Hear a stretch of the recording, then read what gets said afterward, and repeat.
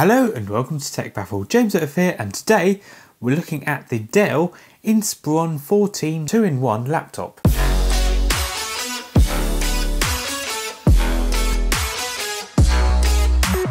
So I've got it in Titan Grey, I'll put the links in a description. So it features a 14 inch Full HD touch display with webcam. For performance it has the latest 11th generation Intel Core i5 processor. 8 gigs of memory, 255 gigabytes of solid state drive storage, and it also features integrated Intel Iris Xe graphics. This is a new feature for the 11th generation Intel processors. So in terms of the OS, it has Windows 10, it includes wireless AX plus Bluetooth, a free cell 40 watt hour battery, plus Waves MaxxAudio Pro. Let's go ahead and open it up. Hooray. So let's have a look what's inside. So at the top of the package we have the UK power adapter and the Dell 45 watt power supply. Now this is really nice and compact. And here is the laptop itself. The Dell Inspiron 14 5002 in 1 user guide. So this is just a quick start guide. This is what we've been waiting for.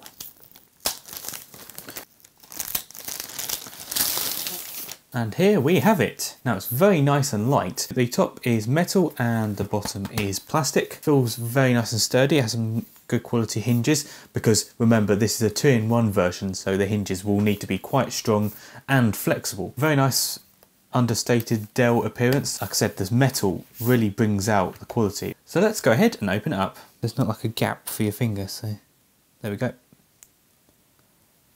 Do, do, do, and there you go. As you can see, as a glass touchscreen, the palm rest is actually metal, which is nice to see. So you can use your laptop like this like a normal person, or if you're feeling adventurous, you can actually fold it around. So the hinge goes right the way around. So you can actually have it like a tent, so you can use it to watch Netflix. Also makes it quite nice and sturdy if you're tapping it. I think it folds yeah, it actually folds completely flat. So if you wanted to use it as a tablet, you can actually use it as a large tablet. What happens is that the hinge mechanism, when you fold the screen back, it actually raises the keyboard a bit, making it a bit more comfortable to type. So yeah, very nicely well presented keyboard. Doesn't have a numeric keypad, which I actually prefer because it means the keys are actually more in the center. And a huge trackpad, which is nice to see. I like big trackpads and it feels really nice and smooth as well. It's also worth mentioning, it's actually extremely thin. So in terms of the I.O., we have the charging connector, a full-size HDMI port, a USB 3 port and USB-C. And then on the other side we have a full-size SD card slot, another USB 3 port, a headphone jack. So this will work fine if you've got some earphones with an integrated microphone and a Kensington lock. Very nice I.O. So as the Intel Core i5 processor, this is the 11th gen with the Iris Xe graphics. So let's go ahead and switch it on. There we go. Yeah, the screen is quite reflective, so I've got it a little bit off angle just so that the light doesn't reflect on the screen. Hi there, I'm Cortana, and I'm here to help.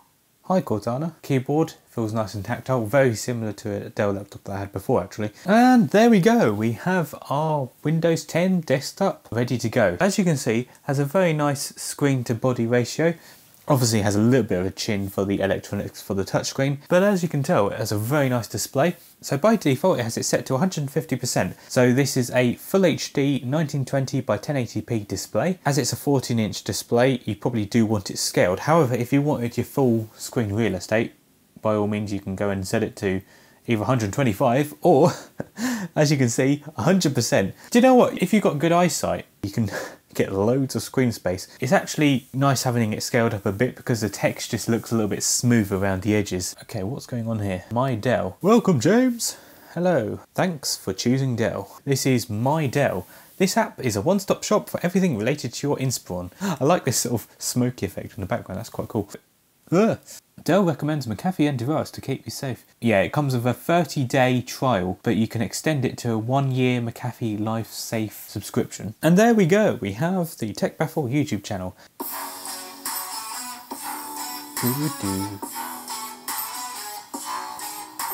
It's a really nice, vibrant IPS Full HD display, so yeah, it's really nice watching YouTube. The first thing you notice is how incredibly light it is. It is very light indeed, meaning you can travel it around and not worry about it being clunky. It's also nice and thin, even though it's got plenty of connectivity. Unfortunately, the screen is quite difficult to see outside. This is actually on full brightness, which is a little bit of a shame. It's still visible, but you have to have it on full brightness. And if you're sitting in direct sunlight, you will have to bear in mind you probably would want to sit in the shade. Sit, good boy.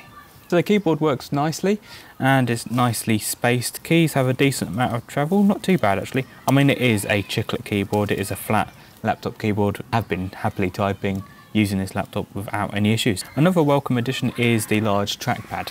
If you look at that, it's just really nice and easy to use, it's nice and smooth. I've launched up CPU-Z and GPU-Z. It's an 11th gen Intel Core i5 1135G7 at 2.4 GHz. So it has 4 cores and 8 threads. In terms of memory, we have 8 gigabytes of DDR4 memory, Intel Iris Xe graphics, and then on GPU-Z it shows us a bit more about the Xe graphics. So Intel Iris Xe graphics, Tiger Lake GT2. It says memory type DDR4 memory size not available. It's an integrated graphics chip, it's not a uh, separate graphics card or anything. It's worth noting when logging in, it doesn't have Microsoft Hello, so you will have to use either a PIN or some sort of password. This is the typing experience on the Dell Inspiron 5000. The keyboard experience is actually quite nice. Typed on quite a few things for my work and I've used this keyboard quite a lot and it's provided a really nice typing experience. Okay, so yeah, PowerPoint works very well so you could have a really important presentation like acceptable pizzas. Only 20% of people think that Hawaiian is acceptable. Let me know if you're a Hawaiian pizza fan. I am. Microsoft Office works absolutely fine, no problem. Okay, so let's try something a bit more challenging. Uh, let's go to Premiere Pro. So I've just loaded up one of the Tech Baffle videos onto an SD card. So the SD card reader is at the side like so. Now, that's uh, not particularly great. I don't like the fact that the SD card just sort of hangs out like that. It is, it works, I guess, but I prefer the sort of spring-loaded ones, especially as you could probably knock that and accidentally break your SD card. It's worth noting when the screen is scaled like this, there's not a whole lot of space to work with. Change this down to 100. Now things might be a bit more difficult to read, now things are a little bit easier to work with, especially when video editing. Okay, so let's see if this video plays. This is a 4K video project on Premiere Pro. Good fun. So, let's go ahead and open the box. Yeah, full quality is a no-go. I'm going to go straight to 1 8 quality. Let's see if this works. In fact, they do look exactly the same. I don't know what all the green stuff's all about. I was expecting it to lag a bit, but it's glitching, it's going all green. so yeah, I don't think this is going to be the machine you're looking for if you're doing some heavy video editing. So when you're in touchscreen mode, it brings up the on-screen keyboard, which is quite nice and easy to type on. So basically with the touchscreen, you have a few extra controls. So you, you can obviously scroll down the page like you would do on a phone. You can pinch and zoom. So if you want to read something, you can pinch and zoom so you can see what you're looking at a bit easier. If you want to bring up all your applications, you just swipe from the left and you can select which application you want to use. If you swipe from the right, then it brings you the notifications. So if you want to go back to the previous page, you just swipe until you see the little arrow and then it will go to the previous page. If you want to go forward, you can just do the same thing. And what you all have to do is just wait. So you scroll and it won't do it automatically until this little icon goes blue. And then once you let go it will work. So you do have to scroll a fair way for it to actually work. So you're not going to hit it accidentally. So that's nice to use. So the touch screen is actually quite easy to use. I was thinking it might be a bit fiddly because desktop websites like this aren't really optimized for touchscreen but I'm finding it's not actually that difficult to use at all. And if you have any difficulty, you can actually scale the screen up all the way to 175%, which will enable a bit more of a user-friendly layout. Everything's just a bit more scaled up and the buttons are a bit bigger. If you want to copy and paste some text, you just hold down like so and it'll bring up the selection like this. And then once you're ready, you can go and press copy. By all means, you don't have to use it in this form. You can either use it flat like this. It's almost like a giant tablet. You can even use the touchscreen as the normal laptop layout. So the hinge is actually pretty good it's quite nice and solid, the hinge. It doesn't sort of accidentally knock back too easy. So yeah, with this touchscreen you can get really creative and do something really wacky like this. But obviously you could create something far better than this. I'm not judging that. but it's just good fun. If you are really into sort of digital art, you can create something really cool with the touchscreen. I'm not sure whether it would actually replace a dedicated drawing tablet. However, if you want to do a bit of digital art, this touchscreen is a nice big size and it's really nice and responsive as well. In terms of the webcam, this laptop includes a 720p webcam. I'm also using the built-in microphone on the laptop, so you should be able to hear what it sounds like. It's very sunny today certain bright areas it can struggle a little bit. It's nothing that's going to blow you away or anything. However, if you're just doing a simple Zoom call or Skype or anything like that, it should be more than acceptable. What I want to show you is this cool little feature at the top here. So say if you are wanting some privacy and you just don't want to be watched, you can activate this privacy filter. So you just slide this switch here and there you go. Okay, so let's see what the Dell Inspiron 14 5000 can do in terms of gaming. So I've got GTA 5 right here, let's go ahead and play. Okay, so let's start off at 1080p. Yeah, everything's set to normal, I don't expect too much. I mean, I don't even know if I can actually play the game. it may not work at all, who knows. So, okay, I'm playing it with the trackpad, which isn't ideal. Oh, okay. Okay, it's not looking too bad. I mean, we are in like a busy city, there's lots of stuff going on, so... I mean, it's 25 FPS. I mean, uh, it's not great, but it's better than I was expecting, that's for sure. Yeah, when there's not much going on, it goes into the almost 30s, 29. I mean, it generally works alright there. Occasionally it does freeze a bit. This is a fancy looking vehicle. Doo -doo -doo Give me that car, dog. Whoa, and we're off. So yeah. Whoa. Let's switch over to 720p. Same normal settings, everything else. 720p, okay, so let's see how it runs in 720p. It doesn't look too bad in 720p, especially on this sort of screen size, so I'm not really complaining. Okay, look at the FPS now, it's starting to look a bit better now. Okay, we're running in the 30s in 720p, normal settings. We're in the city, it's raining at the moment, so there's lots of stuff going on. And, uh, yeah, I mean, I'm quite impressed with this, considering this is Intel integrated graphics. This is the unsafe way to cross the road.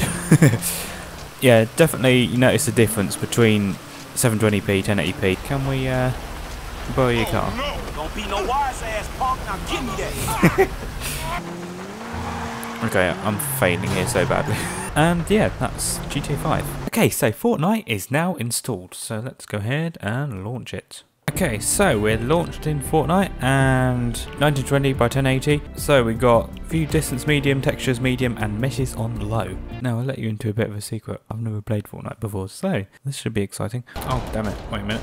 I don't have fraps open, I don't have fraps open. Uh. Okay, so running 20 odd, 30 odd, all that kind of stuff. Okay, we're loading sort of 30, 30 odd FPS. Uh. You may have gathered that I'm not very good at gaming.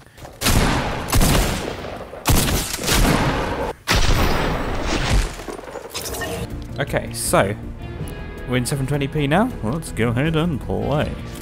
Okay, so we're in 720p, and quite frankly, the frame rate's not looking particularly great at the moment. Yeah, it's not really looking a whole lot different to 1080p. That's surprising. Apologies again. You're probably cringing and thinking, what on earth am I doing? I mean, it works fairly well. I mean, look at them. Occasionally freezes, but I mean, at the moment, not too bad. Not too bad.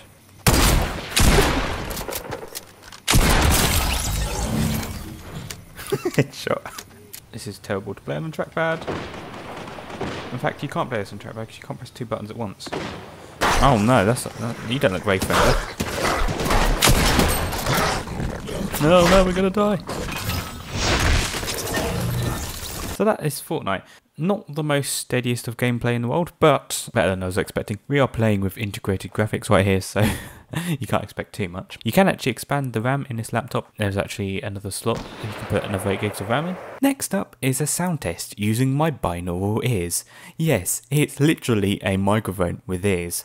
Please wear headphones for the full effect.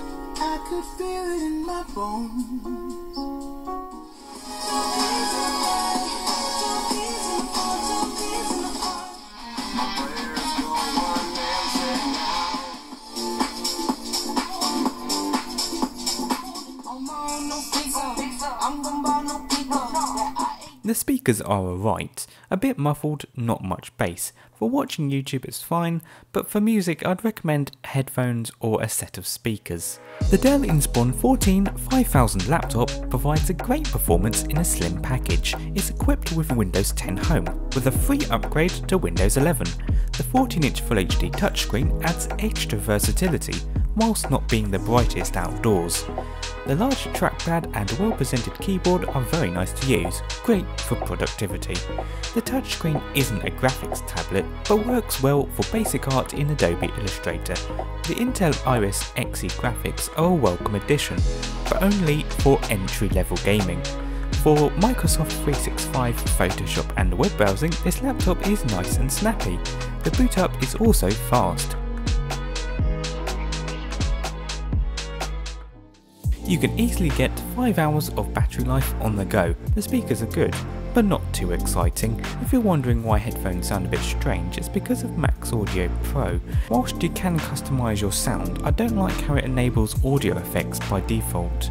Go ahead and disable it for a more natural sound. If you're looking for lightweight productivity with a sleek design, the Dell Inspiron 14 is an awesome choice. Overall, the Dell Inspiron 14 5000 2-in-1 laptop gets a TechBaffle rating of 4 out of 5.